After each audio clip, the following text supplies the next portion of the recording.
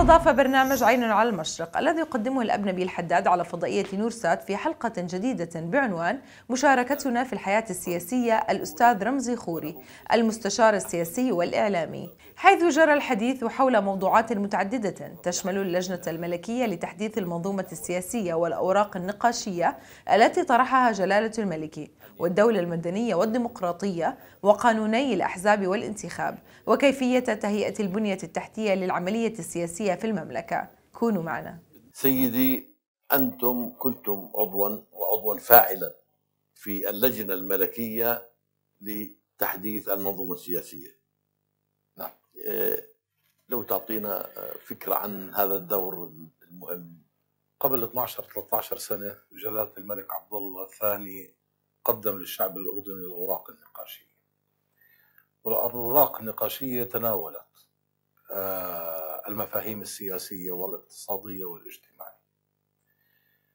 والهدف منها كان أن نبدأ بالنقاش على ما هو الأردن الذي نريد في المئوية الثانية. إحنا نعم. انهينا المئوية الأولى والحمد لله بخير وسلام. الحمد لله وعلينا الآن أن نبدأ في المئوية الثانية شو هو الأردن اللي بدنا إياه وبالتأكيد هناك إجماع في المملكة الأردنية الهاشمية أن الأردن أصلا هو دولة مدنية ديمقراطية ماذا يعني دولة مدنية؟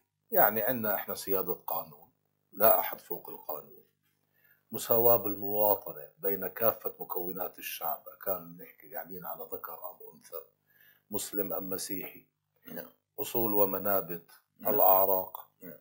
أنت مواطن لك ما لك من حقوق وعليك ما عليك من واجبات نعم هذه الدولة المدنية طبعا الدولة المدنية أيضا تضمن الحريات وتضمن بما في ذلك حرية الإعلام وتضمن أيضا حقوق الإنسان. نعم. أما الديمقراطية الديمقراطية فهي أن يكون الشعب مشارك بشكل رئيسي بالحكم. كيف سيكون هذا؟ طبعا عن طريق الانتخاب وإحنا دولة ديمقراطية من باب إنه عندنا مجلس نواب يمثل الشعب بكافة أطيافه. نظام نيابي ملكي. نعم. صحيح. نظام النيابي ملكي ودستورنا واضح. نعم. الشعب هو مصدر السلطات نعم. فكيف بدنا نوصل لتلك الدولة التي نتمناها؟ الدولة القوية الفاعلة اللي الدستور مطبق فيها كانت الأوراق النقاشية صار في نقاش في المملكة الأردنية الهاشمية وصار الآن الم- الموعد للتنفيذ.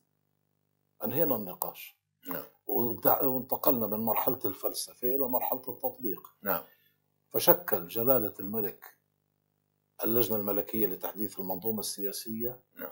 حتى تضع بعض التع- التعديلات الطفيفة في الدستور الأردني نعم. حسب حاجة قانونين أساسيين. قانون الأحزاب نعم. الذي ينص على ما هو ما هو الحزب وما هو عمل الحزب وكيف على هذا الحزب أن يكون. نعم. وقانون الانتخاب الذي سينقلنا إلى تلك المرحلة.